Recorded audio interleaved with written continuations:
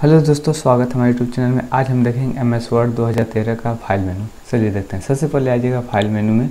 File menu में आने के बाद, और यहाँ पहला ऑप्शन आपको आता है इन्फो इन्फो में पहला ऑप्शन था प्रोटर डॉक्यूमेंट और document protect document and document में कैसे पासवर्ड लगाते हैं, ये हम पहले वीडियो लेक्चर में बता चुके हैं। वहाँ आप जाकर देख सकते हैं।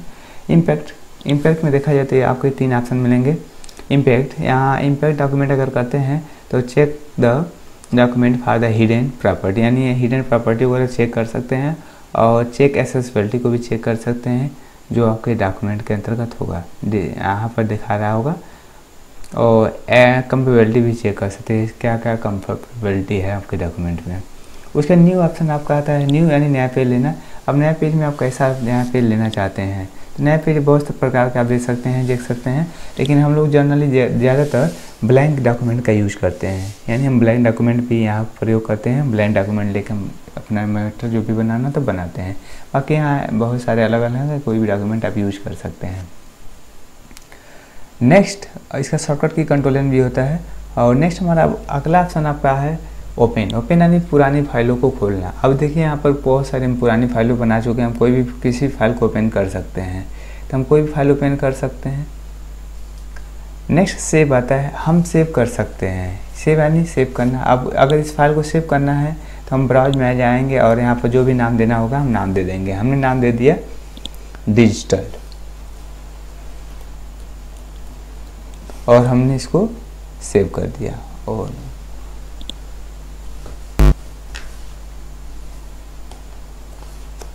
और इसको हम सेव कर देंगे। अभी ये देखा जाए डॉक्यूमेंट जो डिजिटल नाम से सेव हो गया है, चूँकि इसके अंदर कोई मैटर नहीं लिखा गया है तो मैटर आप लिख सकते हैं, कोई भी मैटर आप लिख लीजिएगा। तो मैटर हम लिख चुके हैं यहाँ पर, देख सकते हैं, और नेक्स्ट हमारा ऑप्शन आपका आता है। इस पर क्लिक करिएगा ओपन ओपन यानी पुरानी फाइलों को खोलना, कोई भी पुरानी फाइलें खोल सकते हैं और सेव करना है। सेव हम चार प्रकार से कर सकते हैं। पहला ऑप्शन यहाँ फ़ाइल मेनू में आके हम सेव कर सकते हैं। और नेक्स्ट हम यहाँ से क्लोज करते हैं, तब भी सेव कर सकते हैं। और एफ़ बारह से भी कर सकते हैं, जो कि फ़ंक्शन की होता है। या कंट्रोल एस से भी कर सकते हैं। यानी सेव करने के टोटल चार मेथड हैं, किसी भी मेथड का यूज़ कर सकते हैं। तो हम ऑलरेडी सेव कर चुके हैं डिजिटल नाम से। नेक्स्ट सेव है। इंपॉर्टेंट है, समझिए। सेव एज हम जैसे करने जाते हैं, हम इस फ़ाइल को सेव कर सकते हैं। ब्राउज कर लीजिएगा और फ़ाइल का जो भी नाम देना होगा, नाम दे दीजिएगा। सेव एज ज़्यादातर उसके लिए यूज़ होता है जब हम फाइलों को नाम को बदलना चाहते हैं। ये सब डिजिटल फ़ाइल का नाम है। हम यहाँ रख देते हैं आइडियल हमने रख दिया आइडियल अब इसका नाम आइडियल फाइव कर देते हैं और इसको हम सेव कर देते हैं। अभी ये फ़ाइल का नाम देखा जाए तो आइडियल फाइव हो चुका है, लेकिन मैटर ओल्ड वाला, यानी पहले वाला ही है। बस फ़ाइल नेम बदला है। तो हम सेवेज का प्रयोग इसलिए करते हैं। और भी सेवेज का प्रयोग काफ़ी चीज़ों के लिए होता है। जैसे देख लेते हैं सेवेज जैसे हम करने जाते हैं, ब्राउज पे आते हैं, और यहाँ पर हम इसका नाम चेंज कर देते हैं। या नाम ही रहने देते हैं, हम यहाँ सेव एज टाइप में आ जाते हैं। वह डॉक्यूमेंट है। अब यहाँ पर अगर इस फ़ाइल को पीडीएफ बनाना है तो पीडीएफ क्लिक करते हैं। अब इसको हम पीडीएफ में बना लेते हैं। और इसको हम डेस्कटॉप पर अगर सेव करना चाहते हैं डेस्कटॉप पे सेव कर देते हैं तो तभी डेस्कटॉप पे सेव हो जाता है। अभी डेस्कटॉप पर सेव हो गया प्लस ओपन भी हो गया, देख सकते हैं। तो इस प्रकार हम किसी भी एम वर्ड की फाइलों को पीडीएफ फ़ाइल भी बना सकते हैं, देख सकते हैं। काफ़ी कम समय में हम पीडीएफ फ़ाइल को क्रिएट कर लेते हैं। चलिए हम इसको क्लोज करते हैं।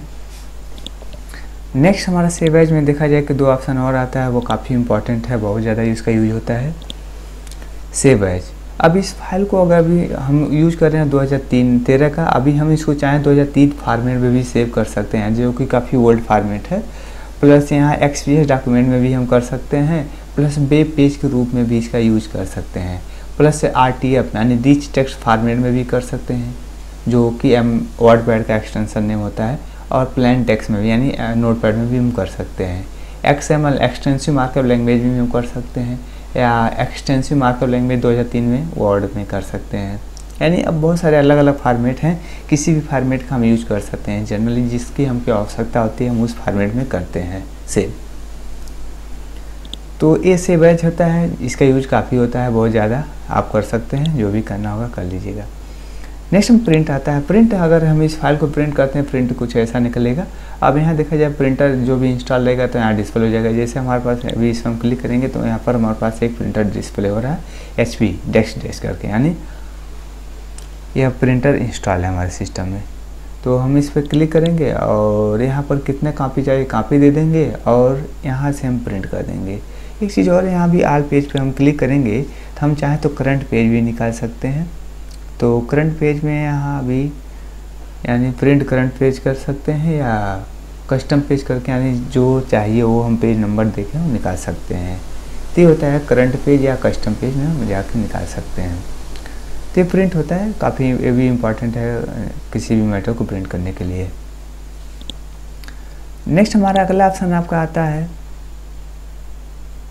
शेयर अब यहाँ शेयर की जब बात आती है तो इन्वाइट पीपुल हमें किसी के साथ हमें इस मैटर को मतलब शेयर कर सकते हैं। या ईमेल कर सकते हैं, या प्रजेंट ऑनलाइन किसी को ऑनलाइन यानी किसी वेबसाइट के साथ इसको शेयर कर सकते हैं। या पोस्ट टू ब्लॉग अगर आपके पास कोई ब्लॉग है, यानी कोई वेबसाइट का ब्लॉग है तो उस पर भी आप डायरेक्ट इसको ट्रांसफ़र कर सकते हैं। तो होता है शेयर एक्सपोर्ट में देखा जाए तो एक्सपोर्ट में आप पीडीएफ फ़ाइल यानी जो भी पीछे बताए हैं पीडीएफ फ़ाइल वगैरह बना सकते हैं। यहाँ उसके टाइप चेंज कर सकते हैं। टाइप में चेंज में देखा जाए तो ये आपका टाइप चेंज हो जाएगा और यहाँ टाइप में आपका जो भी देना होगा दे सकते हैं टाइप में।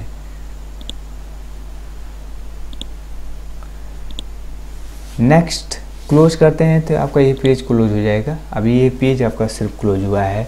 अभी आपका अप्लीकेशन ओपन है। यानी क्लोज कंट्रोल प्लस डब्लू का कार्य होता है। इसलिए कंट्रोल एन से ले लेते हैं नया पेज और इसके अंदर कुछ मैटर्स को टाइप कर लेते हैं फटाफट।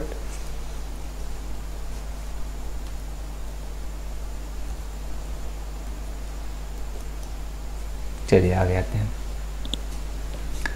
तो नेक्स्ट अकाउंट के बारे में आते हैं। अकाउंट अगर देखा जाए तो अभी हमारा ये एम एस ऑफ़िस के अकाउंट के बारे में बदला है। एक्टिवेशन रिक्वायर्ड है अभी। चूँकि एक्टिवेशन अभी लग रहा है रिसेंटली फेल्ड हो गया है तो इसको भी दोबारा एक्टिवेट करने के लिए बोल रहा है।